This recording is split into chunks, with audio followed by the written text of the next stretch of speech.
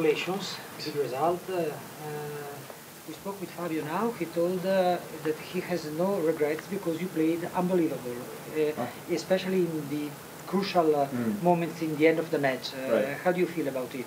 Wow. I mean, that, that means a lot. That means a lot. Um, I have a lot of respect for him and his game and, and, and what he brings to the court. Uh, so for him to say that, uh, it means a lot. I thought, I mean, I thought that. So just the difference was really small moments, and maybe I played just a little bit better on a handful of moments, and that that was the match. You've played him before, obviously, so you know kind of what he brings to mm. a, a, court. But how difficult is it to kind of keep your own focus when everything right. else is going on down the other end? Uh, I mean, it can be challenging, but I have a hard enough time anyway, just in general. So throw some of the some of the breaks in there and things like that, and you know, it's just kind of par for the course, really. But uh, you know, I, I like um, some of the flair he brings to the court in the matches, and, and I enjoy that. And so we seem to bring out good tennis from each other, and we play some entertaining matches. Can you tell exactly us what happened at the end of the first set because I just saw a time violation when he was serving. I, I don't, didn't understand what happened with the towel. There was a problem with the towel, a ball boy, or I mean, what happened? And then there was another warning and then a penalty point. Can you describe what happened? Because it was difficult to um, understand. I, I don't know if I'm the right person to ask. I'm not really sure what happened, to be honest. It just seemed like, I don't know. I really didn't know what was going on. I didn't know what was going on. It seemed like, I don't know. I guess in the tiebreaker you got a warning for time, I think. Yeah. And I, I hadn't been looking at the clock, so I didn't really know what time it was. I know that we were both uh, the points were getting really physical at the end of the first set. I know that. So my legs were starting to burn. I was feeling it, and and uh, so I, would have to imagine that his were too. And so I didn't really know what was going on or what the time was or anything like that. I was trying to keep my head above water. Um, and then I don't know. Between between the first and second set, I really don't know what was going on. Was there was just some breaks point. and some times and, and restroom and I don't know. I, it was odd. You know, it was I didn't really know what was going on. I was just trying to stay focused tennis, you were you were saying to the umpire that you know there's one rule for one and one rule for another. Is mm. that you think? I just it seemed odd, you know. He, uh, it seemed odd that we probably were already at time between the first and second set, and then there was a bathroom break, and I was like, well, it already would have been time. If you needed to go to the bathroom, you would have. Not to say that he didn't need to go to the bathroom or anything like that, but it just seemed like we were dragging on for no real reason and I would have liked to have seen the ref kind of be a little bit more forceful for what the times actually were. You know, we have a set amount of time and breaks and things like that. So, yeah, I, I don't know though, but it, um, like I said, I was just trying to keep my composure and, and stay focused. And yeah, sometimes I uh, can mouth off a little bit as far as speaking my mind um, as a way to vent. You know, I was getting a little frustrated at, at why we weren't playing yet. So I, I used that time to, to vent. Maybe I made sense. Maybe I didn't. I, I don't know. Uh, I was already pretty fired up. Honestly, I was feeling good. I felt like I played well at the end of the first set, and, and I was able to carry that into the into the second, thankfully. Um, but I was I was ready to get after it. You know. You made 15 points in a row. Sorry. Go ahead. go ahead you made 15 points in a row after that situation. Really? it seemed like he, his blister. It seemed like he was having some blister issues as well. His play dropped a little bit to start the fourth set. Uh, sorry, the second set. Um, it wasn't just my good play. It was why I got up 4-0. So it's one of those. You know, it's a roller coaster with him. Sometimes, you know, sometimes you're just a passenger with what's going on. He doesn't play well, and then all of a sudden he's playing amazing, and you're kind of stuck with your hands in your pockets, like, shoot, I'd like to play tennis too out here. Um, so I was just that that second set was kind of quintessential. Um, Fabio with how, how it can go down, you know, and, and so even though it was four five and I lost five games in a row, I thought, well, at least I'm still on serve, not in a hole or anything like that, and I'm up a set, so maybe try to screw your head on right and, and keep fighting. You're now five and two against top twenty guys that slams, which is like a better winning percentage than Federer has. Hmm. Uh, how do you how, how? Oh, I tend to lose to guys before I play. they, their record, the the amount of matches that they've played against guys that are top twenty and top ten is silly, and so I haven't played that many. And wins, you're ahead of like Medvedev, you're ahead of Zverev, you're ahead of a lot of Mm. people who've been a lot higher ranked and made a lot more money than you.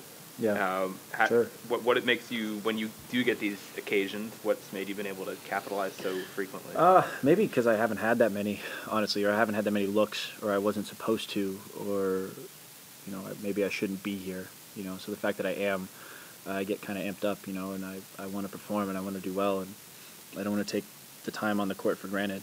Um, getting to play on a big stadium, getting to play in front of a lot of people, because I've played a lot of tennis in front of very few people.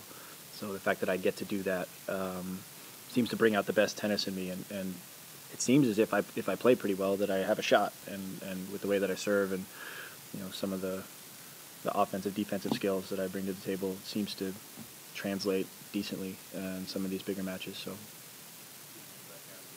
record, what would you think of playing Federer next? record, well, um, it would be re- very special, very special. Um, I was kicking myself that I lost. Uh, to a too good Sam Querrey at Wimbledon in the round of 16 because I would have played Rafa in the quarters and that would have been really special. And, and I was a little upset that I wasn't able to get to that match. Um, so obviously they're still in dogfight, um, but it would be incredibly special to be able to play him at least once in my career and to play him on a on a big stage like quarters of a slam. Um, you know, it'd be a ton of fun, really. And if it is Fucsovics, be two guys outside top 60 Right. in a quarter. He's really good. He's I mean, geez, he's so balanced and hits the crud out of the ball. Um, you know, either one's going to be extremely tough. I, I'm, I'm more, I'm less the favorite in, in one of those matchups against Roger, but I feel like I'm the underdog in both of those matchups. I, I think so. The bathroom break rules are open to abuse, really. But do you think what Fabio did tonight was did he cross a line or? Uh, no, I don't, I don't think he crossed a line. I just, I know I've, I've, I've gotten time violations for being in the bathroom too long, and I had like between sets, and they gave me the changeover time. This is an ATP 250, and I had the literally the changeover time to go to the bathroom, and I got a warning when I came on the court like 30 seconds late. So I, I don't know. It just seems like it can be subjective at times. There's not like an objective set rule on times between breaks and bathroom breaks and things like that and medical timeouts and going off the court and staying on the court and so it becomes tricky, you know. But no, no, I, I don't, I don't, I wouldn't go that far at all. No. You, a moment ago, used the phrase, I shouldn't be here. Mm. And I'm just wondering if you could explain a little bit what you mean by that. Is it that you say you're, you're sort of still surprised when you make it to this point of a Grand Slam tournament? Or what? I'm just wondering I think to clarify is that I, I wasn't supposed to be here. You know, I spent a lot of time in my career not sniffing these opportunities. Um, and so there are better players than me that that I played with in futures and challengers that have stopped playing because it just ran out of money or, or got injured or something like that. So the fact that I was blessed enough to uh, keep hold of my dream and to be able to try and fulfill it and have the body to do so and, and the opportunities uh, definitely blessed. So um, it's worked out um, pretty well, but there's definitely a, a, a world where it, it didn't work out. You know, some of the margins were pretty small for me to have some of these opportunities. So definitely don't take them for granted. Just take that a little bit further, just because your career has been so incredible, where you've been very close to being financially strapped. You've played time and again in very, shall we say, minor venues with mm. virtually no one watching. Yep. And then you have these breakthroughs, these runs. What what do you say to yourself, or how do you assess that? that I feel more used to it now, um, having had some more success and some some runs at slams and winning matches, and uh, but definitely like the first six months, year where I was getting into main draws of slams and playing more ATPs, I was struggling to like get the best out of myself. I felt inferior in the, in those moments, like I was less of a player than I actually was, and so just getting the confidence to believe in myself and to believe that I do actually belong um, on on this stage is is crucial for for competing. I mean, if you don't feel like you should be there, then you're probably not going to play very well. So getting that confidence uh, over time has helped a lot. Do you feel that firmly now? Has that sort of been I, internal? I wouldn't say firmly. Confidence is never firm, but but my core belief is definitely a lot higher than it used to be. Sometimes you thought you might not make it. I remember today that you were the other guy in the Marcus Willis video. and I'm curious what your memories That's of that one. are, because that would not have, I don't know, I wouldn't have left that match feeling great. That's a good one. Um, I did not feel great after that one. He downed an RC Cola and a Snickers and took me out. And uh, I was doing everything I could to try and get better and try and move on. And um, you know, he's a heck of a player, though. You know, he's not to be trifled with. But yeah, I've got a few of those where it's like, what are you doing? You know, are you ever gonna? Is this ever gonna be worthwhile? You know, so then it, you shift the focus, right? It's not about the successes or money or winning. It's about you know who you're trying to be and, and how you're going about your craft and are you doing the things that you should and are you finding fulfillment outside of those successes because if they're few and far between but you're trying to get the best out of yourself what do you hold on to certainly isn't the money certainly isn't the glamour it's you know putting your hard hat on and, and getting work done and trying to be the best you you can be and, and trying to believe that that will pay off in some form or fashion down the road. It does, you don't know what that's going to look like but you hope that it's that it's enough to sustain you. And that mentality can get you places i think. Snickers route, though. you know i do like snickers but uh, not on the court during a match maybe before like a practice or something.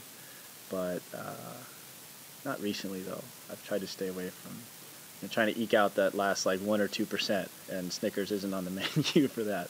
I don't think novak's having any snickers